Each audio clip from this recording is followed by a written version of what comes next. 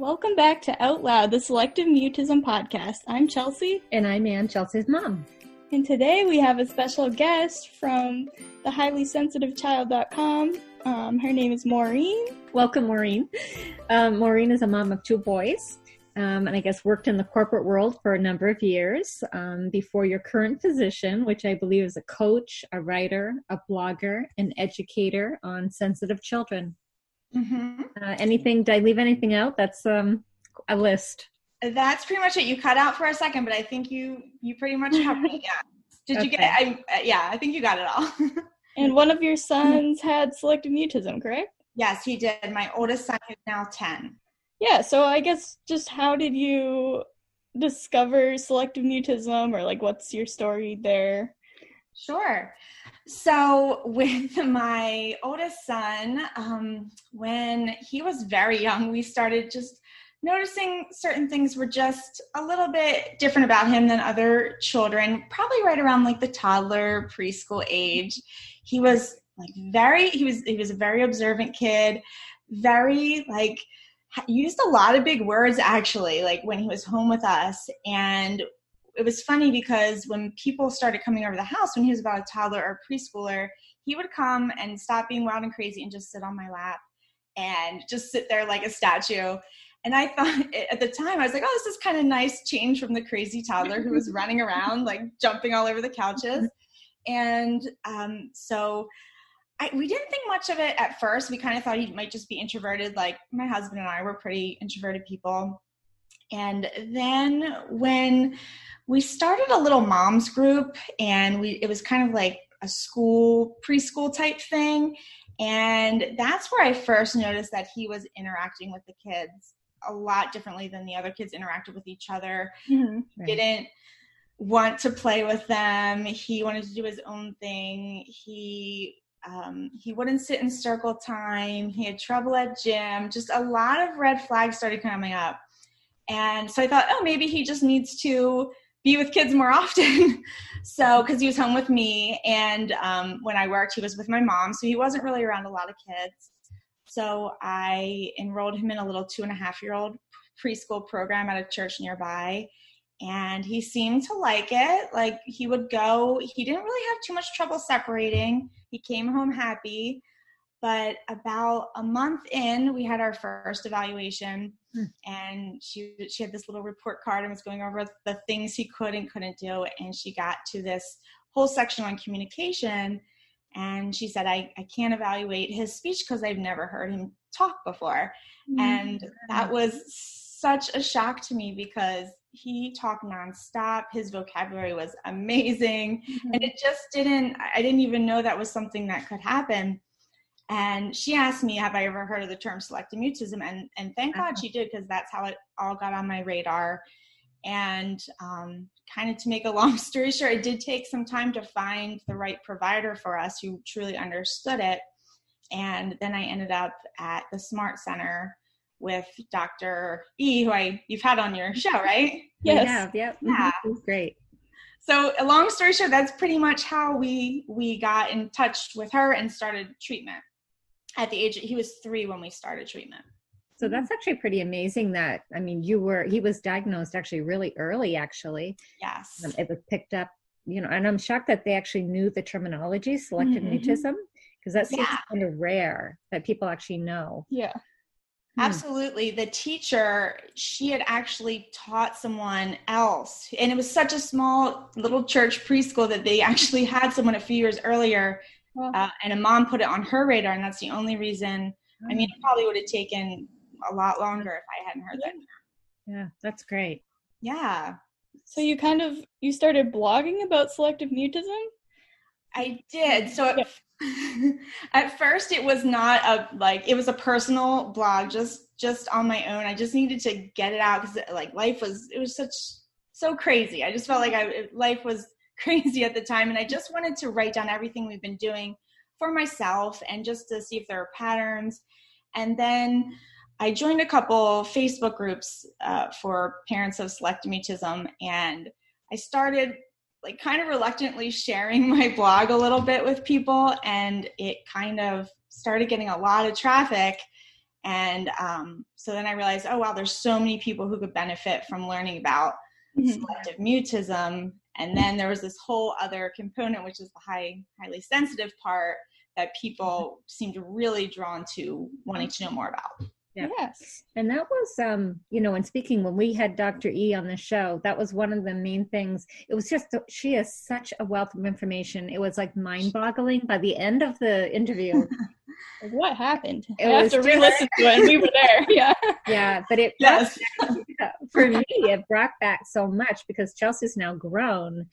Um, but I think a lot of times with selective mutism, we get so caught up in the speech aspect mm-hmm. and that we forget it really affects everything. Um, and that whole topic of sensitive child or being, you know, sens- sensory integration issues and all that is such a huge piece of it. Absolutely. Yeah. Want to tell the listeners what high sensitivity is? sure. Yeah, absolutely. So high sensitivity, it's it's a genetic trait. It's not a disorder. I think a lot of people get that mixed up. Like they, think it's something you can treat. Right. Um, so high, a highly sensitive person or an HSP or an HSC, as I call a highly sensitive child, is just someone who they feel things a lot more deeply. They tend to notice a lot more in their environment. Like they really pick up mm-hmm. subtleties in their environment. Um, they're very observant. Like I remember my son was always being told, "Oh my gosh, he's so observant." Like he seemed really like just taking in the whole situation.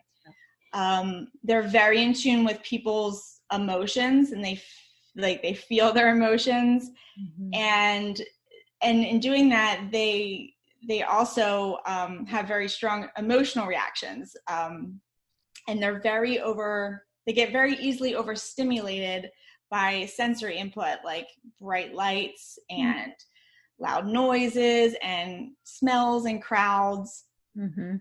um, they also uh, they need a lot of downtime um, and Dr. Dr. Elaine Aron have you heard of her?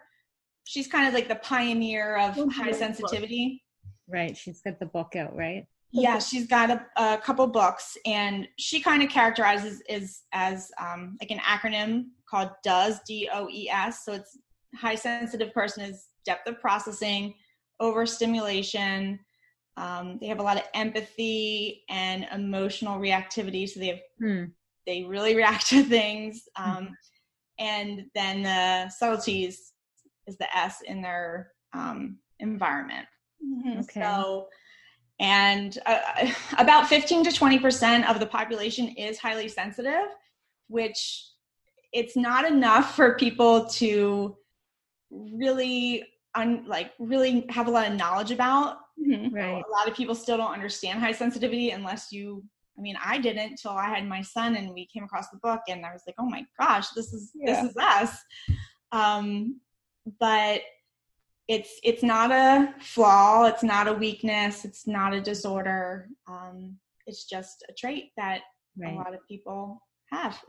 Yeah. So I haven't really heard of it until maybe a year ago and I feel like I don't know what you think, but I think I fit it pretty absolutely absolutely we dealt with all of that when chelsea was little so i don't know i always mm-hmm. thought of all that as part of selective mutism i'm just wondering how you separate it from sensory processing disorder and selective mutism and I yeah know. i think it's a tough one the, the sensory processing versus the highly sensitive child mm-hmm. definitely so um so for like first i'll do selective mutism and then i'll do like the sensory if that's okay Okay. Um, so Dr. E, I remember telling me like a common trait in children who have selective mutism is that heightened sensitivity to things in their environment and a depth of processing. Like they really process things deeply, they think about them.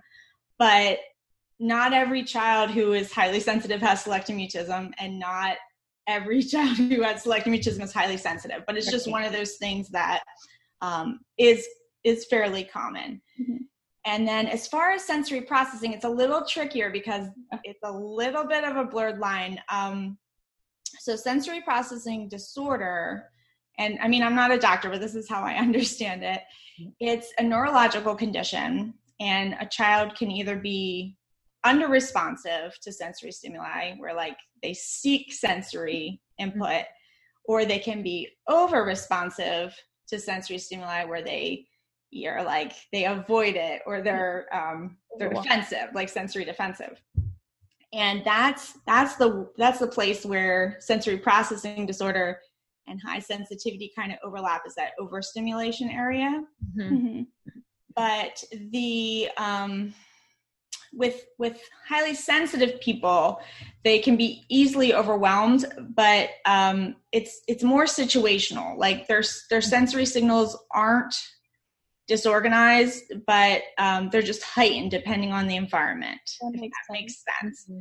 so um, they may act out when like a trigger is present but when it's absent from their environment they can carry on normally where with a sensor with with people who are di- diagnosed with sensory processing disorder, um, the root cause isn't isn't um, the same, and the, re- the response is consistent no matter what environment they're they're yeah. in. And with sensory processing, you have more or disorder. They you have more of a problem functioning in life, um, and that's where you need the occupational therapist to kind of help you through that. Right. Mm-hmm. So, and that's a real rough comparison, but that's kind of how I understand it. Makes sense. Yeah. yeah. And my son did see, we did go to an occupational therapist because I think he had high sensitivity plus like was definitely in, interfering with his life. So we did go and see an OT for, um, to work through some of that. Mm. Mm. Yeah. He had like, I mean, we had trouble with everything. And I, I, remember listening to one of your guys' podcasts where um, the the toilets, the hand dryers, oh the, yeah, yeah, we had haircuts, we had nail cutting. Like it took three people to cut his nails. Um, swimming, like so much of his life was just limited because he had like he didn't like anything on his hands, like they couldn't be dirty. Yeah. Um, band-aids like just i could go on and on but yeah. basically like there was a lot going on uh-huh. yeah yeah I feel as a um i don't know like as a mom and you mentioned you know having get-togethers or trying play dates like mm-hmm. I, I did mention it in one of our episodes but it can really be isolating because i think even with chelsea you start out trying to have all these mom play dates and all that but sounds similar but you know each time we would get together it was her and i off on our own because she was either arching her back or you know something was wrong and it ended up just being her and i and then you just kind of um i don't know whether we stopped getting invited or you know just kinda, but it can be very isolating.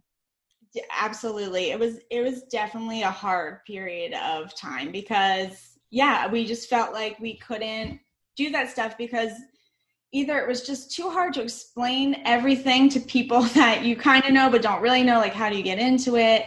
Mm-hmm. um, yeah it was it was very hard. It's i think it's i always say to other parents who are raising kids with selective mutism like try to reach out and find someone in your area or someone going through the same thing. Um, mm-hmm. when we i think that's part of the reason why i started blogging and, and, getting involved with those facebook communities because i felt like those people understood. Mm-hmm. right. Um, and there's then, so many out there. It's weird. Like yeah, you don't yeah. realize it you feel like you're the only one. That's true. Yeah the yes. more you speak out about it the more you you find other people mm-hmm. Absolutely, absolutely. Like the internet. how was right? your, how was your family, Maureen? Were they? Um, I mean, it can be really difficult. You know, I think they try to be supportive, but did your family, you know, get it? Did they? I yeah. yes. Be- we we had yeah our family was super supportive we were lucky in that way like my my parents um, were very understanding. My mom we found out she's also highly sensitive and it just like she really understood him and they had a really great relationship. My my in-laws they live a little um, we don't see them as much and so um, and they come from a big loud italian family my husband's side. So it was a little bit more challenging to explain okay like you can't yeah. jump in and try to greet him the second we get in the door and give him food like it was always kind of i mean we had cousins and everything on that side so it was much more difficult to right. go there. We had to avoid some family get-togethers because it was just um, overwhelming, yeah. too much. And I don't know how you were, Chelsea, with pictures as a kid, but my son it was a nightmare. Yes. They always wanted these big group pictures, and it just oh, it was it was horrible. so bad sometimes. Yeah. Actually, it's, yeah. I was just gonna, uncomfortable. I was just going to say it was funny because one time um, my husband's family came home, I think from Texas or whatever, and they wanted to get a family portrait. And we were dreading it because, you know, There's so it just many never pics. went well. There's so many bad pictures of me as Yeah. a kid. And of course, they had their daughter, Chelsea's cousin, was, you know, the perfectly behaved child and, you know, just perfect to a Happy. Yeah. Yep, smiles Always and she happy. needs to smile. Well, that day when we went to get the family uh, portrait done, Chelsea, for some reason, was just perfect. wow. her husband was having a bad day. Mhm. oh, wow. So well, whenever we look at the family portrait, that's kind of the joke. The family joke is that picture and how Oh, that's so funny. it worked out for us. So you said, um, was it his your son's grandmother found out she's highly sensitive? Yeah, Or- so I'm just wondering how do you like verify that? Is there like some kind of test or something? Like you said, it's genetic, so I'm just curious if there's any like research. Yeah, so I I base all my stuff off of Dr. Aron, Elaine Aron, who's written Okay. those books, and she does have on her site. If you go to um, hsperson.com backslash, I think it's test, Okay. and she has one for adults and one for children. It's kind of just like a, a questionnaire where you check mm-hmm. off certain boxes, and if you get a certain percentage, you're likely highly sensitive. It's Mhm. not a yeah. sophisticated test, but it mm-hmm. it gives you an, a basic idea. And as you're reading them, like I knew when when I was reading the book, I was like, oh my gosh, this is me. This is mm-hmm. also my husband. And then I showed it to my mom, and we we all took the test, and we're like, yep, this is us. Huh, interesting. wow. no, there is a test. You can go to her site and I um. have to take it. I already know the answer. I did. Yeah. yeah a lot of moms come to me and and they're they say like when they read my book they're like oh my gosh um i'm realizing that i'm highly sensitive after realizing it for my child i think that happens quite a lot Hmm. yeah. So, what tips? What do you recommend for parents if you do have a highly sensitive child? I mean, I know, you know, they always say, you know, transitions. Try to, you know, prepare kids for transitions. But other than that, I mean, what what what do you suggest?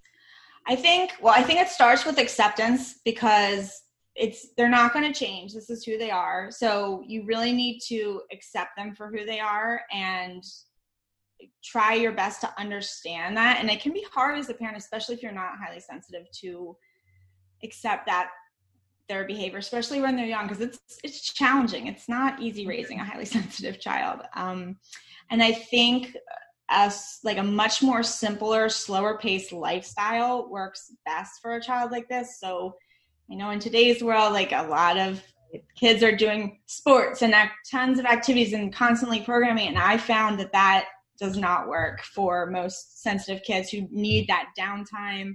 They they just for us, I think we can only do like one big big activity a day. Like no more. If we have one in the morning, we cannot do another one later in the day because it's just too much. Um, and I think that as far as friendships go, I know for a lot of highly sensitive kids, it's really hard to make friends within a group. So you want to do those one-on-one. I mean, that's how we've built my son's like best friends, like just one-on-one play dates. That's that's how they make their connections and um, friendships, at least in our situation Mhm. and i think just that that the validation of their feelings like labeling their feelings letting them know uh, these feelings are okay because i mean it's not always easy and we're not always perfect at it but you want to try to make sure that they're feeling that they can feel this way because they have a lot of big emotions Yeah. Um, and and a predictable schedule. Like they they like to know what to expect because that decreases any um, uncertainty, which makes Right. them nervous. Like if we're going somewhere, we don't need to do it as much anymore because they've he's learned how to adapt. But like headphones or bringing certain things to help with the sensory stuff. Um, yeah, I think that's that's pretty preparing them ahead, ahead of time is is key. I remember I remember we rearranged my son's bedroom once without telling him, and it was like the end of the world. Like we thought we were doing this great thing, and it t- it was like he was not expecting it. It was not okay. I always say that. I probably say that in almost every episode that I think it's important to tell kids with selective mutism, but maybe it's the mm-hmm. highly sensitive part that I need to know exactly mm. what's coming and like have it all listed out for me exactly what time and I don't know. Yeah.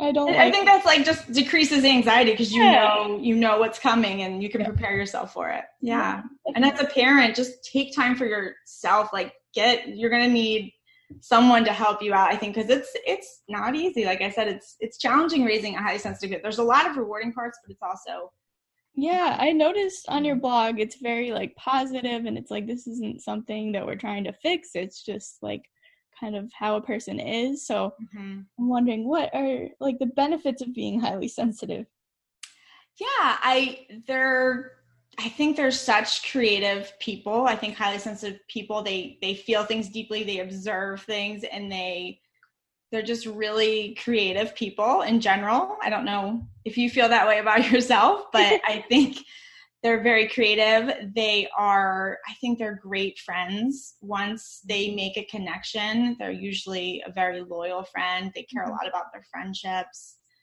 Um yeah. I they they're they can't easily be fooled because they're they're very uh, observant they take a lot in and i think they're they're very smart they can read people and their environment and, and stuff like that mm-hmm.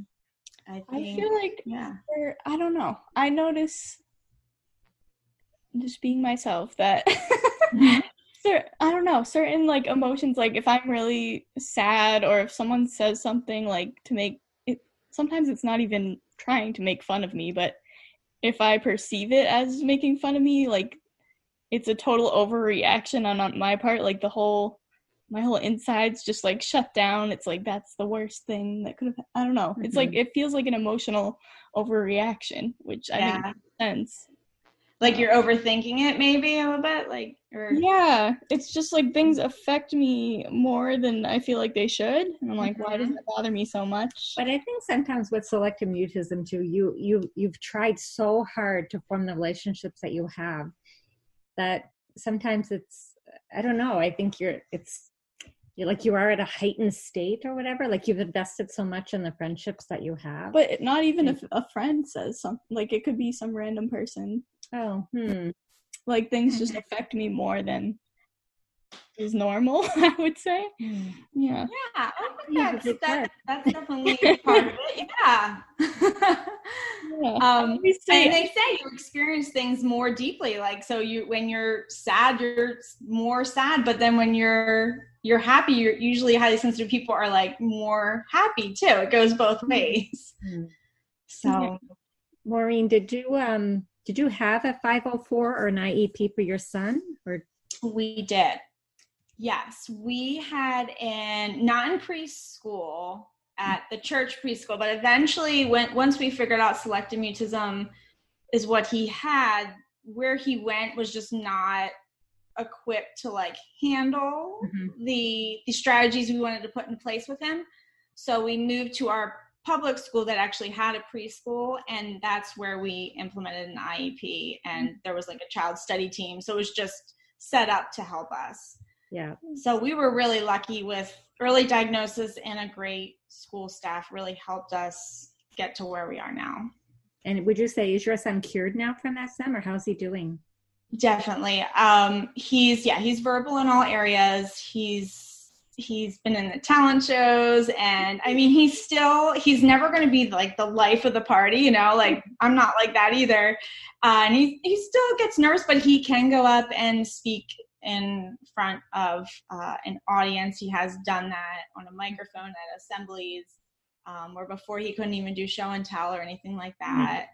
so he's come a really long way and each year i feel like he's getting more secure in who he is and mm-hmm. um, I, yeah, I would say we are.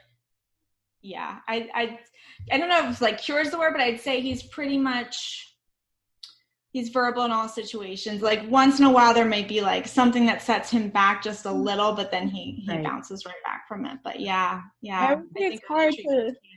There's not like a specific point in time where you can say someone is cured of SM. Like I don't, I can't even pick what year of my life that was. Like there's Yeah. just the anxiety stays most I feel like most of the time. So if you have social anxiety, that's not just gonna go away, but it doesn't mean you can't speak in all different settings. True.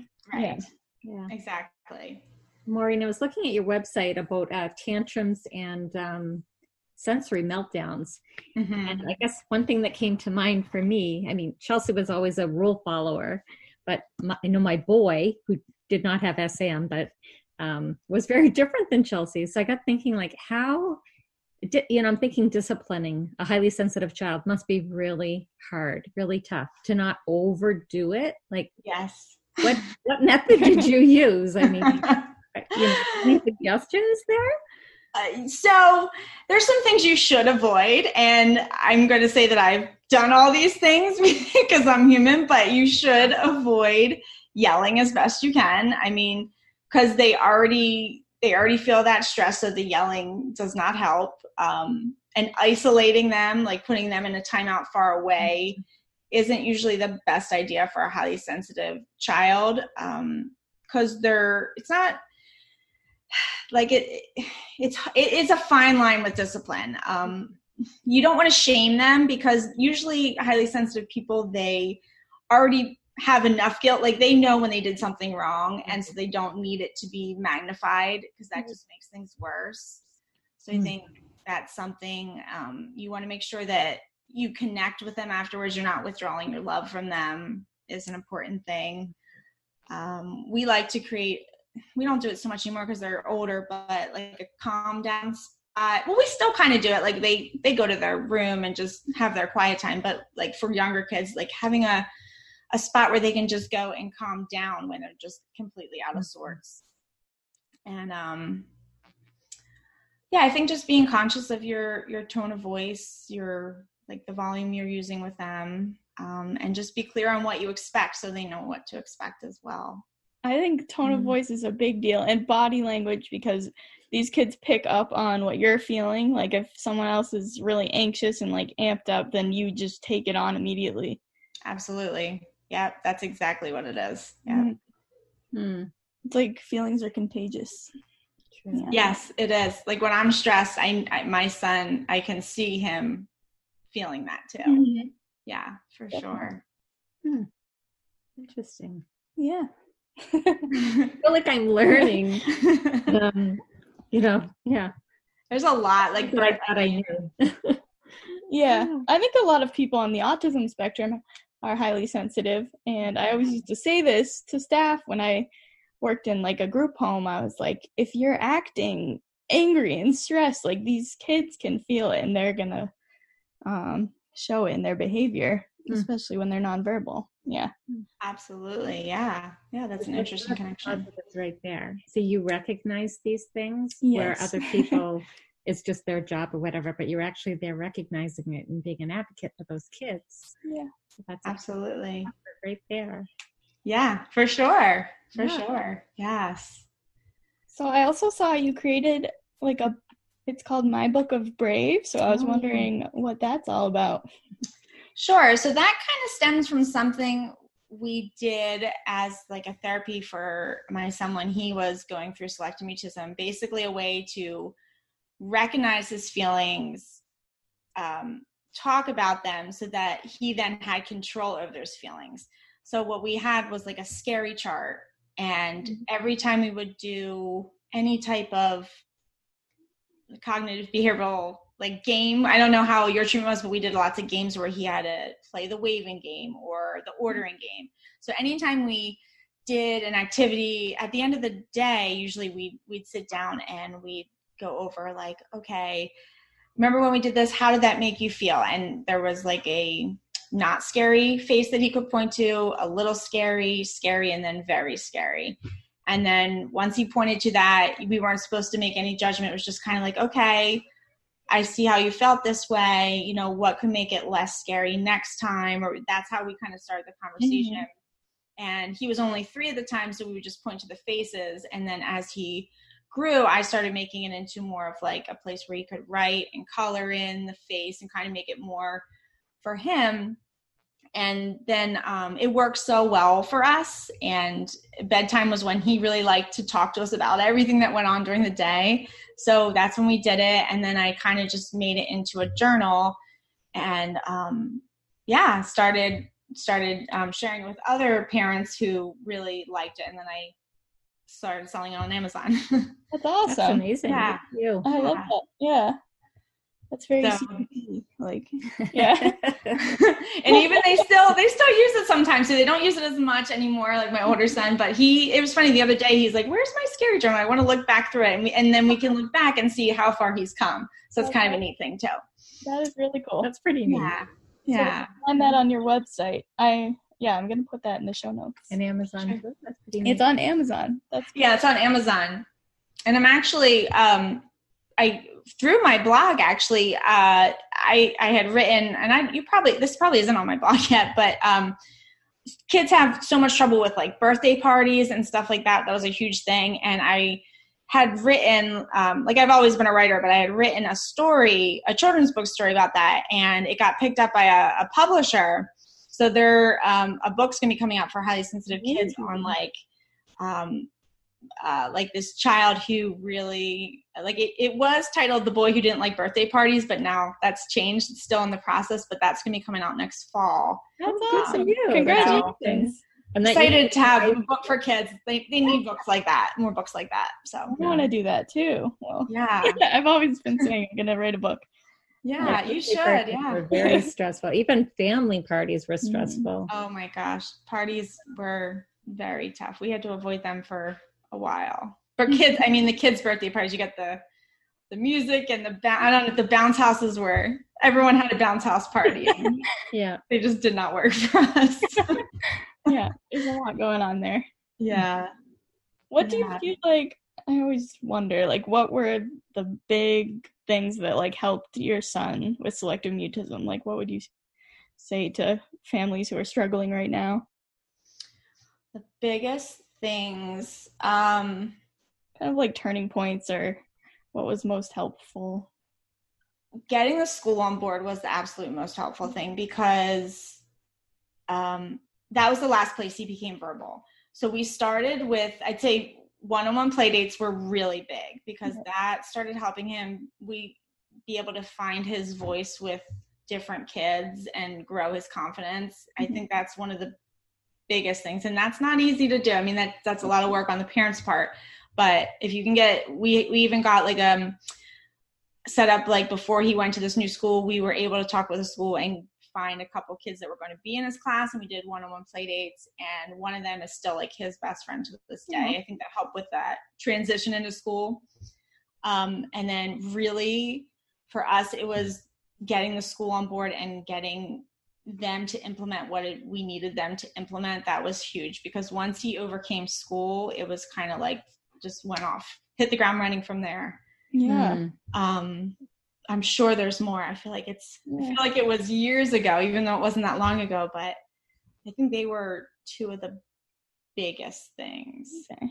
yeah definitely definitely think that's like a a big obstacle that some people have when schools aren't willing to work. Um, yes. Or just the lack of understanding. Um, you really have to be an advocate for your child, like so much. Like mm-hmm. we had to, yeah, we had to fight for them a, a lot. Yeah, and it does. It depends on your school for sure. Which yeah.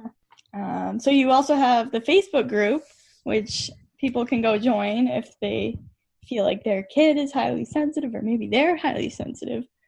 Um, I think yeah. it's a good group, like of people. I've I actually joined the group. awesome. yeah, and the people seem like really supportive, and it's like a helpful community. So. And yeah, it's a great group of. Um, it's called Parents of Highly Sensitive Children. I think it's like, um, do I have it?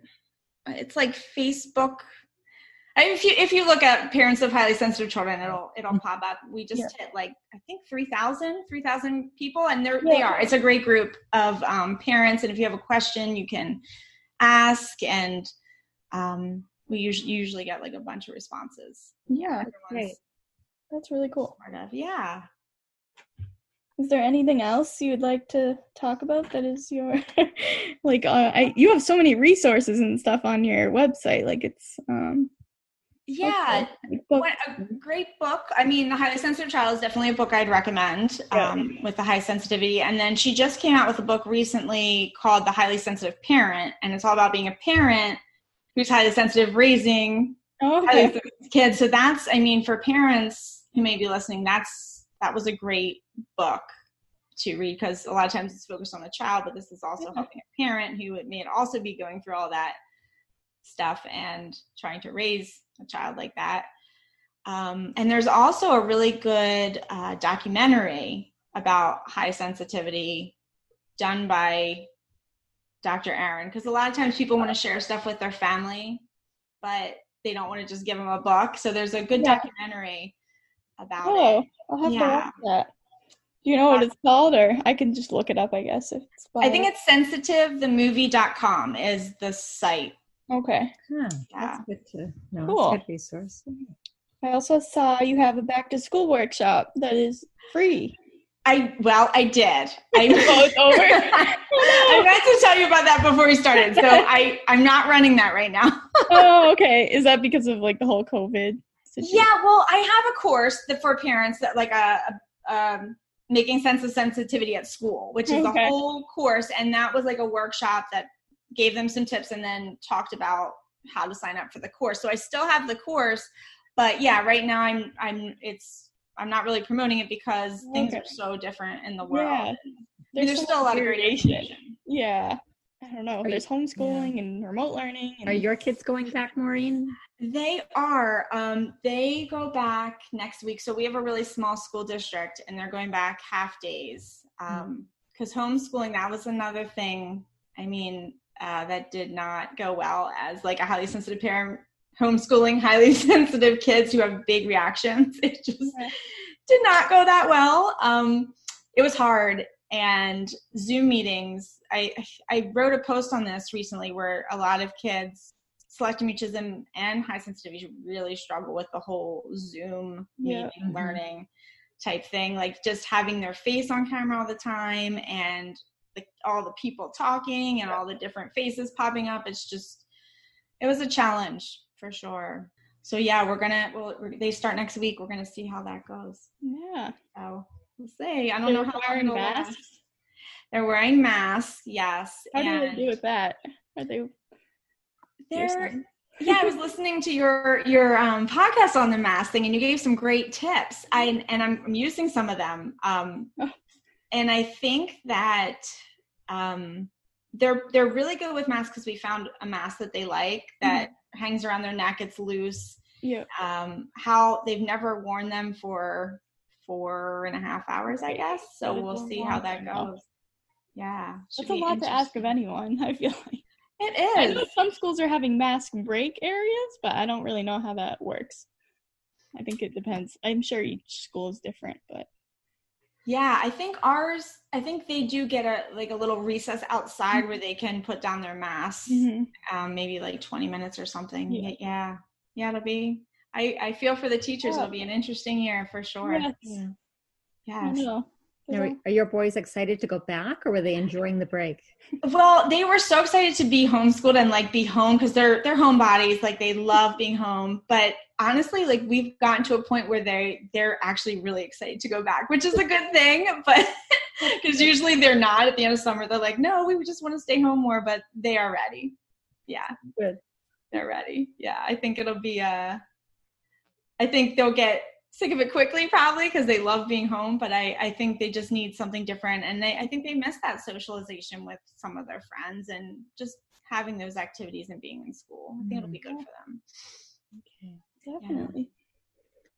So the name of the blog is the highly sensitive Child child.com. Yep. Is that where they find it? Yeah. yes yes We also mm-hmm. have an Instagram and a Twitter. Are they all the highly sensitive child? I think I follow you on all of them. the only thing i don't have is instagram i still Okay. I, I feel like i'm so old i haven't figured that one out but i know it's a really popular one but I'm, i have pinterest facebook and uh twitter yes Okay. Great. I could put everything in the notes too. Well, that's great. I think it was, um, I mean, it definitely, you know, it's sort of intertwined with selective mutism. And, um, yeah, what a great, I don't know, because I know we have trouble kind of teasing it out. Yeah, sometimes I'm like, oh, I don't have selective mutism anymore, but what is all this like extra stuff that I've had Mhm. forever? But it's all it's like a mix of anxiety and like some sensory issues and feeling a lot.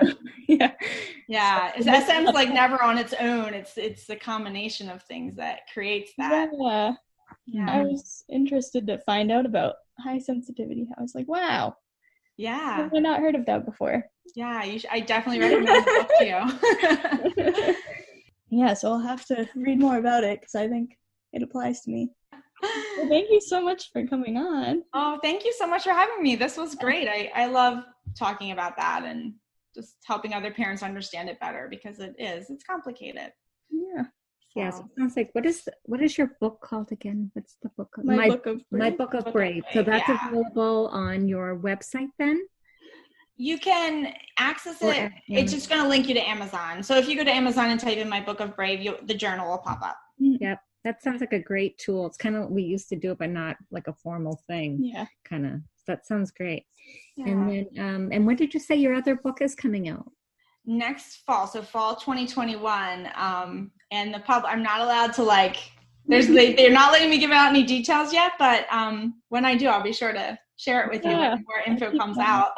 Yeah, let us know. That's Yeah. great. we can definitely share it. I think a lot of people would like it. yeah, I think it'd be good for a lot of kids, even like even if they're not SM or high or high sensitivity, it's like more just anxiety and Yeah. dealing with all the stimulation that comes with a birthday party. Yeah, Mhm. Yeah, well, it was great. Um, great having you on. I just Chelsea and I, you know, I guess it's we kind of started after we've been through it all, and then you started while you're going through it. Yes. Um, but it's just great, just you know, helping educate, help spread the word, make people aware. Um, but hopefully, people would be more understanding. yeah. Um, Definitely. I think you're doing a great thing with the SM podcast. That's that's amazing. Thank you. Thank you. Yeah, I love that. I love that idea. I'm going to listen to you guys more now that I know that you have one. Yeah. I don't think there's men. Are there any others? That's what we- when we were trying to name the podcast and we were looking up for the name of it, and when we actually found out, oh my gosh, there's not one other podcast that's dedicated to selective mutism. There's episodes about it, but there's no podcast that only does selective mutism. so we, Yeah. couldn't, we couldn't believe it. So we're like, okay, we're definitely doing this. Yeah. Yeah. No, I think that's in your great. future. Maybe there's a podcast in your future. There you go. Maybe. Highly sensitive podcast. Yeah. yeah. No, that's awesome. well, thank you, Maureen. This has been great. Mhm. Yeah. Thank you so much for having me. It's it's been it's been. I was excited for this, so thank you. Thank, Thank you, you. Maureen. All right. Thank you so much. Bye, guys. Bye. Bye bye. Hi guys, it's Chelsea. I have an exciting announcement. I just wanted to pop on and let you guys know. We now have a website. Go check out OutLoudSM.com where you'll find all of our episodes and more information about selective mutism. Thanks so much for listening. Bye.